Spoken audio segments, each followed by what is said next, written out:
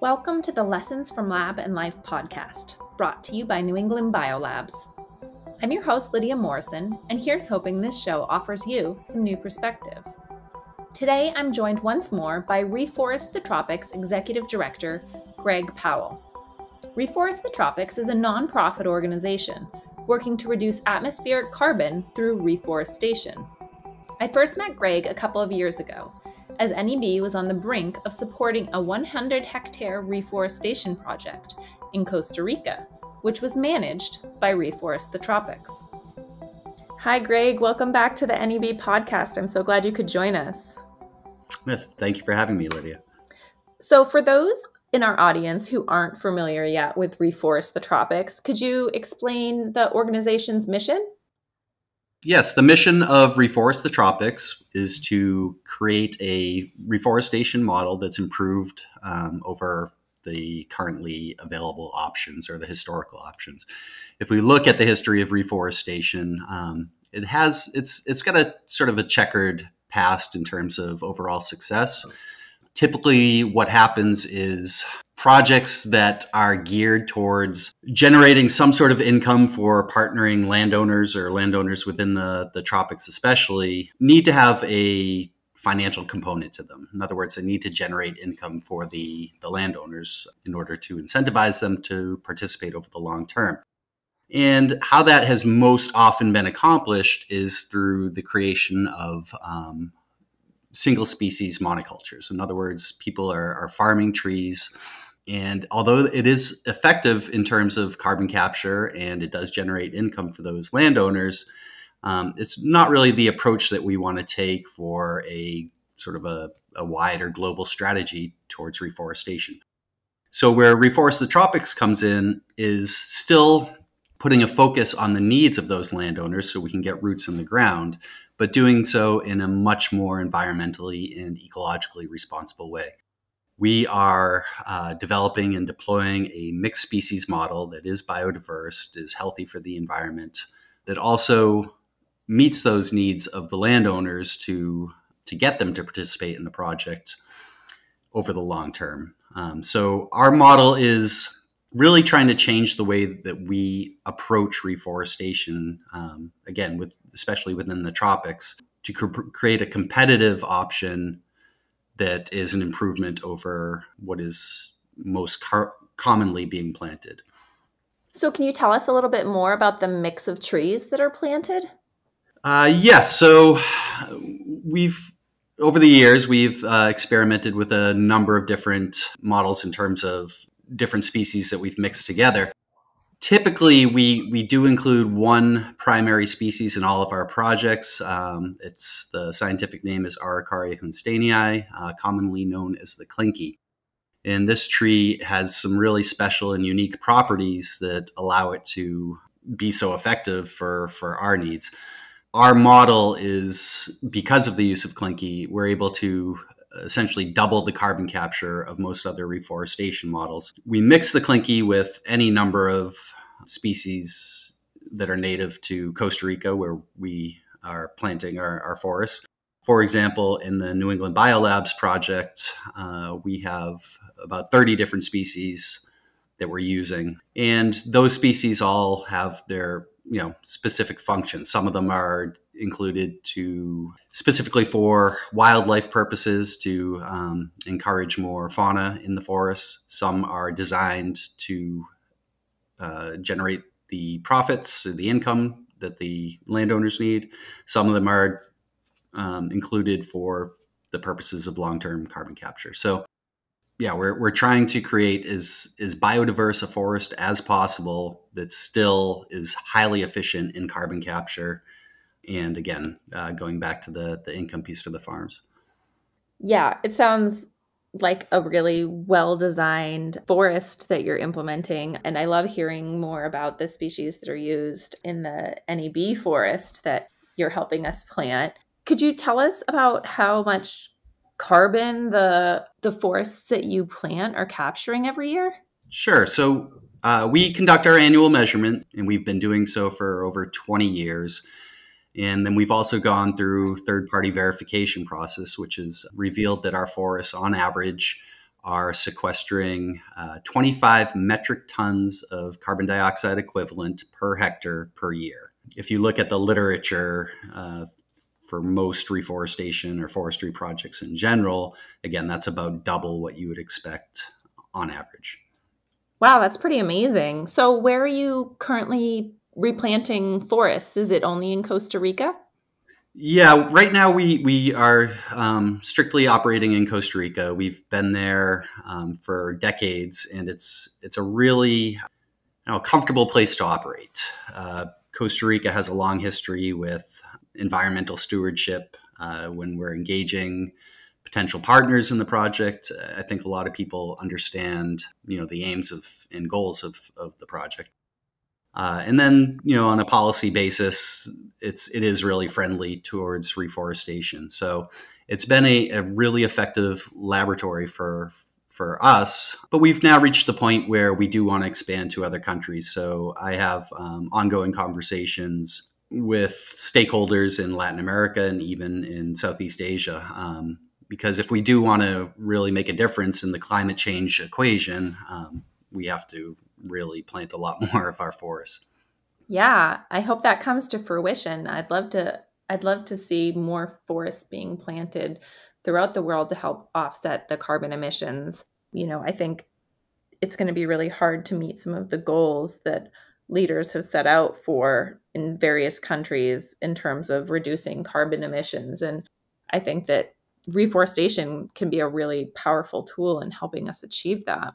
It is. Uh, reforestation is a very efficient and cost effective way to extract carbon dioxide from the atmosphere. It's not the only tool we need, but it is it is essential. It's um, it's really an unavoidable piece of the puzzle because we do need to physically intervene to to pull that excess CO2 out of the atmosphere. So we are working on you know, say we globally, um, the world is working on some other technologies, but we have this ancient approach that um, has so many other benefits beyond the carbon aspect. And um, again, it's it's a really cost effective way to deal with emissions. Yeah. Speaking of those other benefits, do you have any uh, stories that you can share about biodiversity success that you've seen in reforestation projects? Absolutely. So the way this project was conceived many years ago was it was really based on the carbon aspect. How do we accumulate carbon in a given land area and have it make sense for those landowners? So um, we always knew that we wanted to create, you know, a mixed species model, and, and with that comes a certain level of biodiversity. But there was never a really strong focus on the habitat that we'd be creating. Um, so over the years, it's it's been a very pleasant surprise to see how healthy, from an ecological standpoint, the the forests actually are. Within our forests, we have documented essentially every fauna species that you can imagine in Costa Rica. This includes some endangered species, threatened species, and it also includes the very elusive and iconic species of Costa Rica, um, such as the jaguar, uh, tapir, the macaws, toucans, et cetera, et cetera. So we, in, in some of our older forests, we've uh, set up uh, like camera traps and um, have been successful in, in capturing images of these animals. We also regularly see tracks, you know, from some of the harder animals to find, the jaguar and the tapir, we regularly see tracks in our forests. In fact, uh, I was just down in Costa Rica a couple weeks ago, and about 100 yards from the New England Biolabs forest, I saw a large tapir track in the mud. And these are very rare animals. Um, people that you know work in the field within Costa Rica can go their whole life and never even see one. So, uh, for me, it's really exciting that they're they are residents within our forests. Yeah, I think it's exciting too. And I've really enjoyed seeing the images on Reforest the Tropics Instagram account um, and other social media accounts. I always get excited when I see uh, a print being shared or a still image captured of one of the animals exploring your forest. So I think that's really awesome. In fact, for the NEB project, as we were planting, so we required a, a small army of, of workers, um, and they were they were camping on the site, you know, just for ease of operations. And we saw so much jaguar activity in the area that we actually had to we, we had to change it from a camp to to building wooden structures um, to protect the workers. So we know there's quite a bit of jaguar movement throughout the NEB forest already, and we expect that to grow as the forest matures. Well, we love hearing about it. So I was wondering, Greg, if COVID 19 has had any effect on your efforts in reforestation. It has. Uh, it hasn't been drastic effects. Uh, I can give full credit to my team in Costa Rica who picked up a lot of the slack on on some of the you know the pieces that I couldn't do for for you know lack of being able to travel. So from an operational standpoint, uh, we've weathered the pandemic quite well. All of our projects are in excellent uh, condition.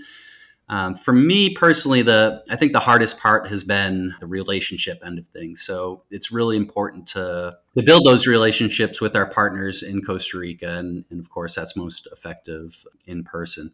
And then beyond that, you know, just I think a reality that most nonprofits have faced through this is is the financial piece. Um, you know, there's been sort of less disposable income for charitable giving. You know, even on on company level, um, I think we've seen that people or companies have been a little bit more reluctant to make sizable investments into their sustainability.